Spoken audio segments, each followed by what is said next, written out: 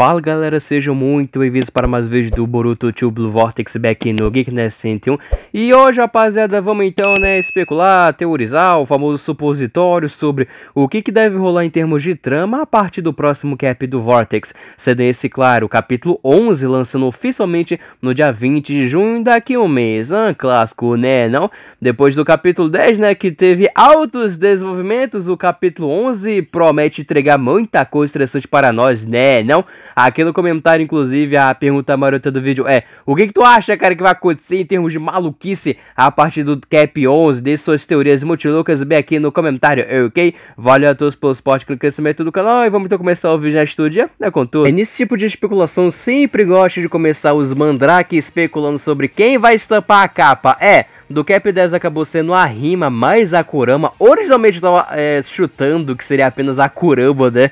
Só que a rima acabou vendo de lambuja. Agora, a capa do Cap 11 é um tanto quanto misteriosa para mim, porque, claro, né? Pode ser literalmente qualquer um. Geralmente, né? Acaba sendo em cima do personagem que tá tendo destaque aí recentemente, tá ligado? Então talvez possa ser basicamente uma capa da rima mais a força da Kurama, o seu chakra, estampando a capa do Cap 11. É tipo, a aposta mais safe nessa altura do campeonato. Em termos de conteúdo principal, eu não tenho dúvidas, galera, que o capítulo 11 vai ser muito focado na treta, óbvio, né? Da Rima Ori com o chakra da Kurama enfrentando diretamente o Jura. Vai ser uma batalha muito importante, até pra gente ver, tá ligado? Quão forte é a Rima mais o chakra da Kurama. A própria raposa chega a estar no décimo cap, como ela, Rima, tem mais potencial do que o próprio Naruto, que olha, deu o que falar, tá ligado? Quando essa frase acabou ganhando a famosa luz do dia, que é um pouco complicado, é a famosa, né? Injeção de barra aí pra cima da rima, que é tudo bem, né? Até o Damon no passado já reconheceu basicamente o poder da guria, mas embora ela seja basicamente a predestinada, eu duvido muito que ela vai conseguir realmente fazer frente ao Jura, porque o diabo é absurdamente poderoso. Pô, se ele conseguiu, né, galera, acabar com o Boruto, duvido muito que a rima nesse estado atual vai conseguir realmente fazer algo de grave contra o vagabundo. Tudo bem que pela parte do Jura, eu acho que no capítulo 11 ele vai se comportar como ele está se comportando até o momento, que é tipo, ah, só observar e ele vai aproveitar esse momento, claro, né, para testar basicamente o poder da Kurama em primeira mão. Porém, eu acho muito difícil a gente ter um momento no Cap 11 onde ele vai estar, tá, meu Deus, a garota é muito braba, e agora? Assim, é possível também que esse conflito da rima contra o Jura seja interrompido, né, galera? Especificamente pelo personagem do Kawaki. Embora ele acabou aparecendo pouquíssimo no décimo cap, ele tava ali, né, mais interagindo com o Shikamaru. O Shikamaru informou para ele, né, a situação da rima, como ela tá sendo perseguida e brá brá brá.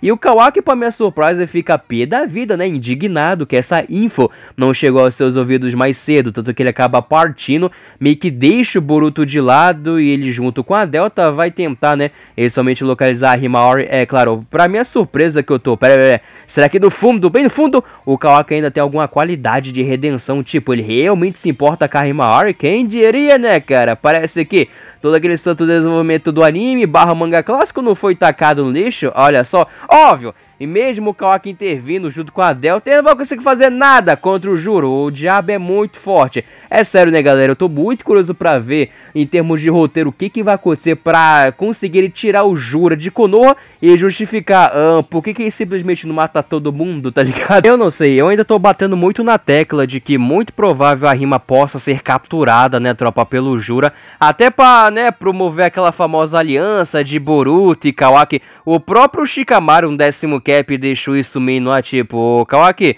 como os caras também tá querendo matar o Boruto, não dava, né, pra nós mandar o famoso Mandrake, embora o Shikamaru tá ao lado do Boruto atualmente, vocês me entenderam, é um elemento de plot interessante, vai que, falando também, né, em outras coisas, eu sei, tem um caso aí do Inudi, né, galera, que no décimo cap acabou sendo empalado, tadinho, é aquela coisa, meu Deus, ele vai morrer.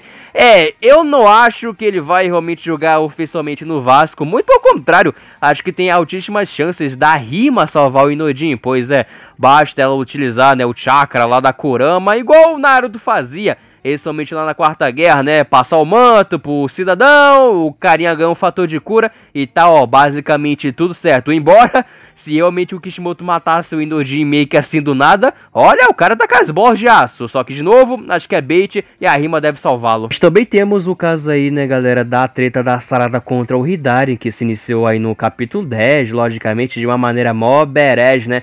Desde que o Idari é introduzido na plot, ele expressa o desejo de basicamente consumir a sarada, a pause. É, até o momento, ela não faz ideia, né, cara, que é basicamente uma versão planta do seu pai que ela está enfrentando atualmente. Sério, é uma parte aí do Cap 11 que eu espero que tenha um certo foco. No capítulo 10 foi mais o início da treta em si, que, cara, é um momento tanto quanto hype, né, não? Pra gente ver mais um pouco aí da Sarada em ação e até ver o que, que já abusou o Hidari tem, né, de extra por debaixo da manga, além das habilidades clássicas do Sasuke, como o próprio Shidori, é claro. Eu me pergunto se a Sumério ou Konohamaru podem, né, intervir nesse combate para dar aquele apoio para Sarada, ou se realmente vai ser, tá ligado, um combate de pai e filha, entre aspas, é claro, a partir do Cap 11. De qualquer forma, aguardem, esse combate vai dar o que falar. No caso aí do Boruto, hein, galera, assim como o Kawaki ele acabou não tendo tanto destaque no Cap 10, ele tava literalmente apenas uma única página, tá ligado, sofrendo sofrendo ali para basicamente controlar o seu karma. É meio que o cap 10 deixando explícito de ô, oh, Momoshiki tá querendo sair, né?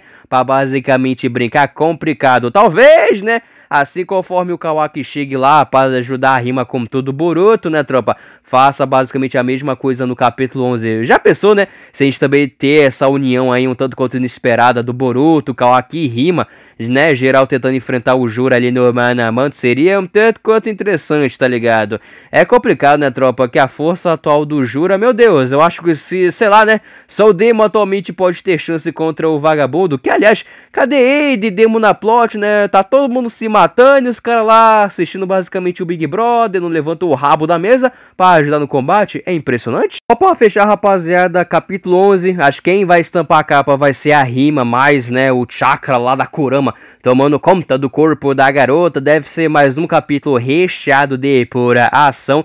Eu espero que a gente tenha ali um destaque pra Sarada contra o Hidari, uma progressão do combate, é claro. A rima, né, mostrando talvez algumas habilidades novas pela parte da Kurama, na sua treta contra o Juro, embora na minha opinião ela não deve fazer muita coisa de grave contra o Juraço e o combate provavelmente deve ter a adição ali ou do Kawaki ou do Boruto ou de ambos, né?